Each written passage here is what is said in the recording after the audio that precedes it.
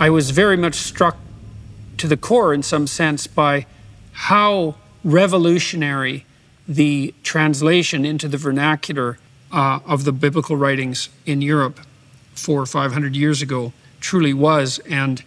how that jump started the development of literacy not only in Europe and the transformation of European society as a consequence, but also across the entire world.